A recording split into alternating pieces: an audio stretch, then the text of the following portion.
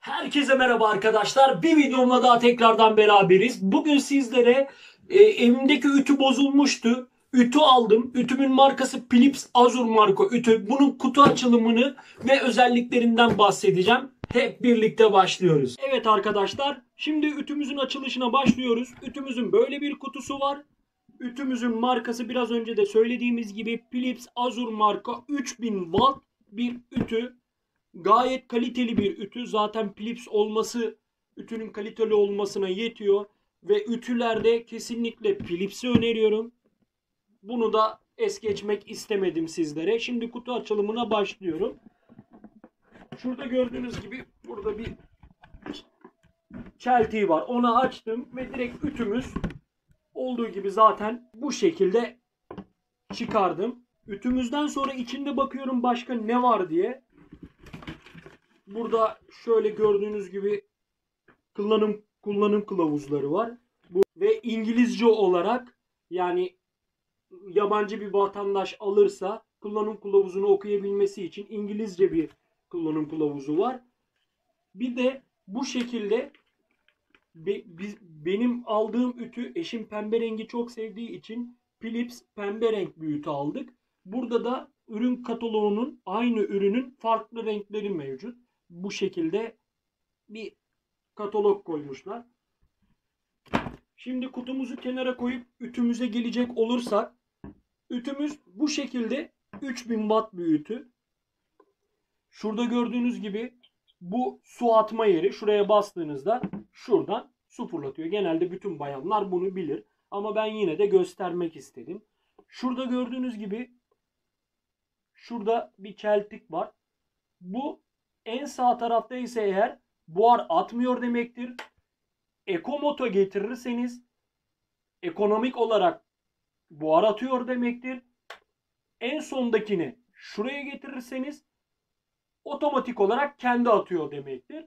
Ve herkesin bildiği gibi de şuradaki yerden ütüye başlamadan önce buraya suyumuzu koyuyoruz.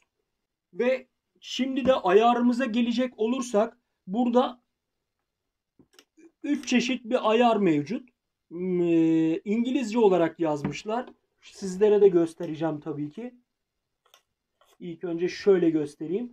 Şurada gördüğünüz gibi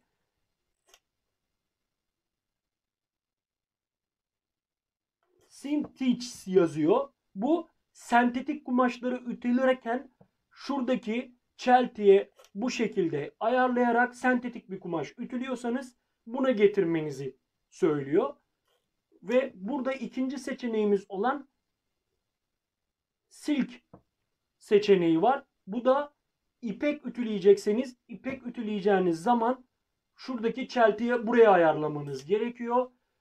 Cotton ve linen var. Burada da kumaşları kumaşları ütülerken bu ayara getirmenizi istiyor. Bunu da bitirdikten sonra son olarak burada bunu da tabii unutmamamız gerekiyor.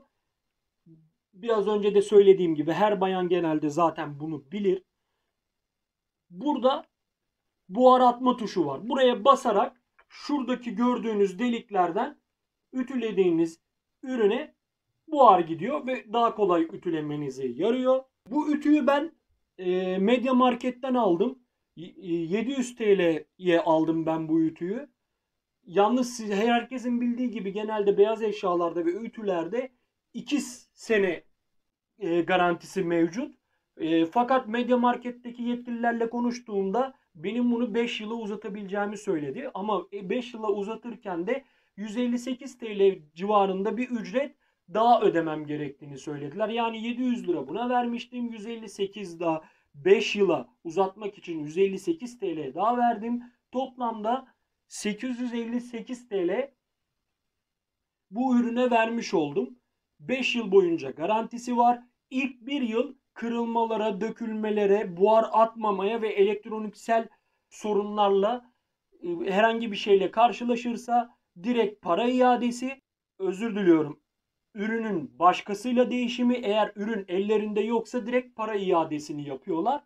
Bir yıldan sonra da e, kırılmaları ve dökülmeleri karşılamıyor. Sadece elektriksel arızaları ve buhar atıp atmamayı atmıyorsa eğer bunları karşılıyor.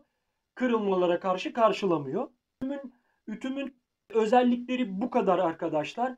Videolarımı takip etmeyi unutmayın. Son olarak da bununla ütü nasıl yapılır, memnun kaldım mı bunu göstereceğim. Hadi gelin görelim bakalım nasıl ütülüyormuş.